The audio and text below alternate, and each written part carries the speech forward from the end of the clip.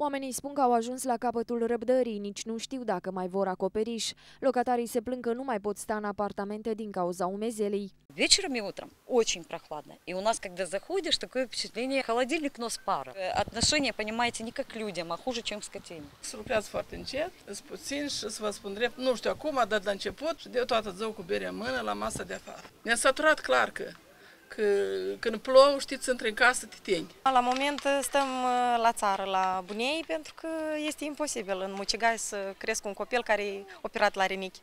Unii spun că s-au îmbolnăvit și vor ca primăria să le dea locuințe în care să stea provizoriu. Невозможно так жить, что переселили людей на какой-то момент, пока это подсохнет, пока это все, потому что я, например, не считаю, что крыша будет сделана. După aproape două luni, muncitorii n-au reușit decât să ridice pilonii construcției. Nu am avut acces pe acoperiș, iar șeful de șantier a refuzat să vorbească. Primăria însă dă neputincioasă din umeri. Se lucrează, dar nu cum ne-am fi dorit. Antreprenorul este obligat să prezinte explicații, explicații oficiale în ceea ce privește întârzierile. Anterior, autoritățile au promis că acoperișul va fi gata până la 15 septembrie. Eu am promis până la 15. Am cerut să fie respectat. Incendiul de acum trei luni, care a mistuit 28 de apartamente, a fost provocat de un scurt circuit. Sinistrații locuiesc în prezent pe la rude. Primăria a alocat 3,5 milioane de lei pentru reconstruirea mansardei, ceea ce constituie jumătate din suma necesară.